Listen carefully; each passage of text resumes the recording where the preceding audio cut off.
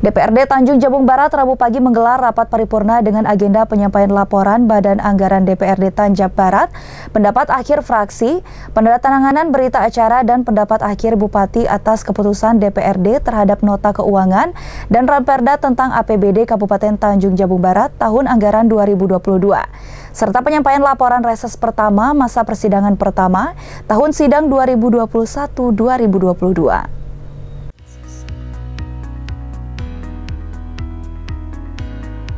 Bertempat di ruang pola kantor DPRD Tanjab Barat, digelar rapat paripurna dengan agenda penyampaian laporan Badan Anggaran DPRD, pendapat akhir fraksi, penandatanganan berita acara dan pendapat akhir Bupati atas keputusan DPRD terhadap nota keuangan dan raperda tentang APBD Kabupaten Tanjung Jabung Barat tahun anggaran 2022 serta penyampaian laporan reses pertama masa persidangan pertama tahun sidang 2021-2022.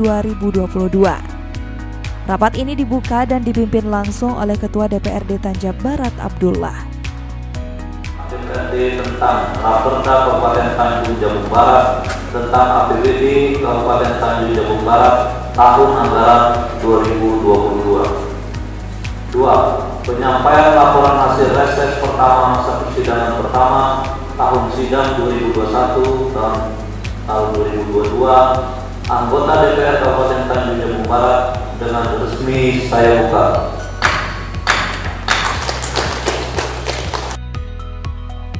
Usai membuka rapat paripurna ini, Ketua DPRD Tanjab Barat mempersilahkan langsung para juru bicara Badan Anggaran dari fraksi-fraksi DPRD, yakni fraksi pertama diawali dari fraksi Gerindra yang dibacakan langsung oleh Erliani, yang menyetujui nota keuangan Raperda APBD tahun 2022.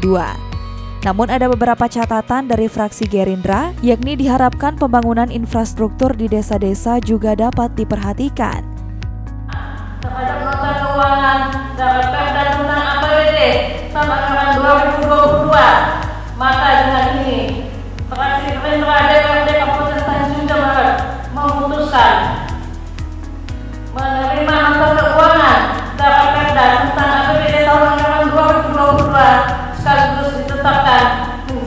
peraturan daerah.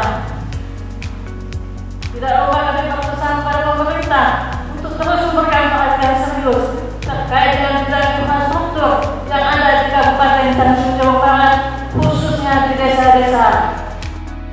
Selain itu, juru bicara fraksi Nasdem dan P3 Rayun juga mengapresiasi segala bentuk kepedulian dari para OPD sewaktu melaksanakan rapat komisi-komisi proaktif. Dengan demikian, fraksi Nasdem dan P3 menyetujui nota keuangan Raperda APBD tahun 2022 untuk dilaksanakan secara teliti. Fraksi terhadap rancangan Perda APBD 2022. Fraksi Nasdem P3 setuju untuk ditetapkan menjadi Perda APBD tahun anggaran 2022. Demikian pendapat akhir fraksi Nasdem P3 terhadap hasil pembahasan rancangan Perda APBD tahun anggaran 2022. Sekian dan terima kasih atas perhatiannya. Tanjung Barat, 17 November 2022, fraksi Nasdem P3 DPRD Kabupaten Tanjung Barat Sementara itu, sambutan dari Sekwan DPRD Henry Zal terkait nota keuangan Raperda APBD tahun 2022 memang kerap dilakukan setiap tahunnya sebab pembahasan APBD 2022 ini wajib dilaksanakan tepat waktu. Sebab hasil akhir pengesahan APBD 2022 ini wajib diketahui oleh Gubernur Jambi.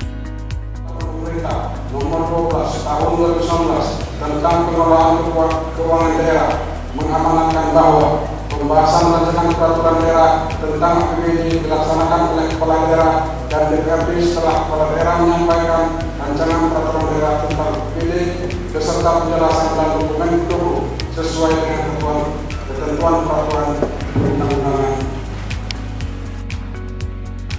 Dalam paripurna tersebut, pendapat akhir Bupati atas keputusan DPRD terhadap nota keuangan dan ranperda tentang APBD Kabupaten Tanjung Jabung Barat tahun anggaran 2022. Dengan demikian, Bupati Anwar Sadat sangat mengapresiasi kinerja legislatif dan eksekutif dalam hal pembahasan APBD 2022.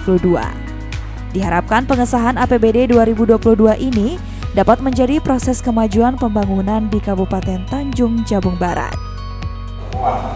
Dalam rencana APBD tahun anggaran 2022 merupakan rangkaian proses yang berkesinambungan dari kebijakan pembangunan daerah untuk mengatasi permasalahan yang kita hadapi bersama.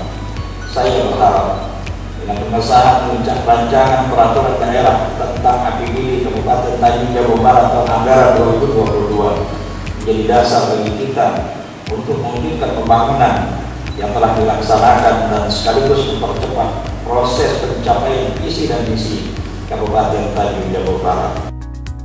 Surya Kurniawan, Jack TV, melaporkan.